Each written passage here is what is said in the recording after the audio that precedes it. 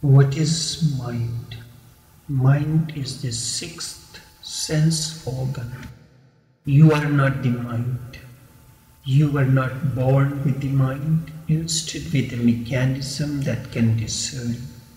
Later, this mechanism was conditioned in the process of upbringing and growth. But each one of us considers ourselves as mind. This is the greatest illusion. Mind is the conditioned mechanism, indeed conditioned by the society, priest, religion, etc. The mind is not your reality. It is a false interpretation. You have never been a mind, and also you can never be the mind. Your reality indeed is beyond mind. However, in the process of growth, you become identified with something which is not. You are like a beggar who believes that he has a kingdom and now he is so worried about the kingdom. He is concerned how to manage it, how to govern it, and how to prevent the anarchy. There is no kingdom but you are worried constantly. Mind is just like a crowd. All thoughts are individual, and because thoughts are there continuously, you think the process is substantial. Drop each individual thought, and finally, nothing is left behind. There is no mind as such, only thinking. There are two things thoughts and thoughtlessness. Thought is the world, the noise, and thoughtlessness is the gap between two thoughts. It is your silence. It is like you are standing on a busy road corner and watching the traffic. A car passes zooming at a high speed then suddenly three, four cars pass. Then there is a gap, and in that moment there is no car passing on the road. The road is empty of the cars. Such is the state of thoughts and thoughtlessness. Thoughts is the rush of the traffic on the busy road, and thoughtlessness is the gap when there is no thought arising. And this totality of the thought and thoughtlessness is the state beyond mind. Between two thoughts, try to be alert. Look into the interval, the space in between. You will witness and experience no mind. That gap is your nature. Indeed, thoughts come and go. They are accidental. However, that inner space always remains. Clouds gather and go and disappear. Their presence is accidental, but the sky remains. So too your inner sky always remains. The road remains the same. A blue, a white, or green, or red, or silver, all these cars pass on the road bearing different number plates driven by different drivers, so too the thoughts are driven by different individual thought patterns. Their pattern is different, but they are all connected to one another through a link. Suddenly, a traffic light turns green. There is a rush of cars, one after the other a certain number of cars passes, then the traffic light turns red. From the other side, a few cars pass. In a way, these traffic lights are synchronized. So too, a thought pattern is synchronized. A particular thought comes to your mind, a particular event or circumstance and situation comes on the inner horizon, hooked on to that, many thoughts come. And then, like a busy road, your inner sky becomes impeded with thought patterns.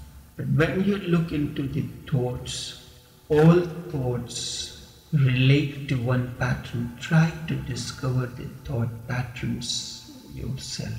Either the thoughts relate to fear, most of the time thoughts relate to fear or any event.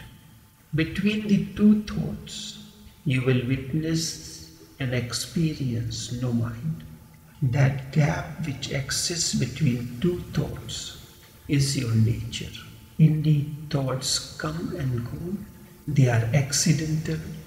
However, that inner space always remains. Clouds gather and go and disappear. Their presence is accidental, but the sky remains. You are the inner sky. You create the field for thoughts to float. Wherever you go, your mind is a step ahead of you. It is not only that it follows you like a shadow, it is always one step ahead of you and it has reached before you, but you are never aware of it because it is so transparent. Before you reach to a particular place or destination, your mind reaches there before. Whenever you are entering a temple, your mind has entered before you. When you are going to a friend or when you are embracing him, your mind has embraced him before. And this you can know because your mind is always rehearsing. Stepping ahead, mind is always rehearsing. Before you speak, it rehearses what and how to speak.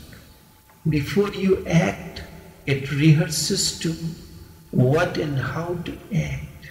Before you do anything or do not, it goes on doing, goes on rehearsing. The rehearsal means that mind is preparing itself before you. It is always one step ahead. And that is a constant, transparent barrier between you and everything else that you will come across or that you will encounter. Just watch the body, the mind. They are not you. You are the watcher, and the watcher is another name for Buddha.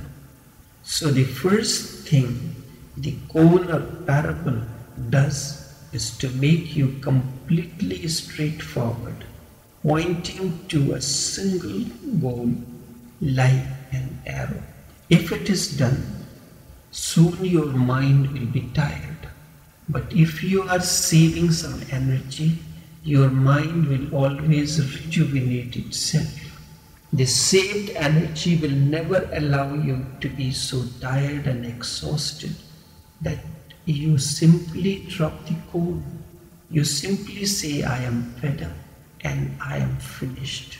This is stupid.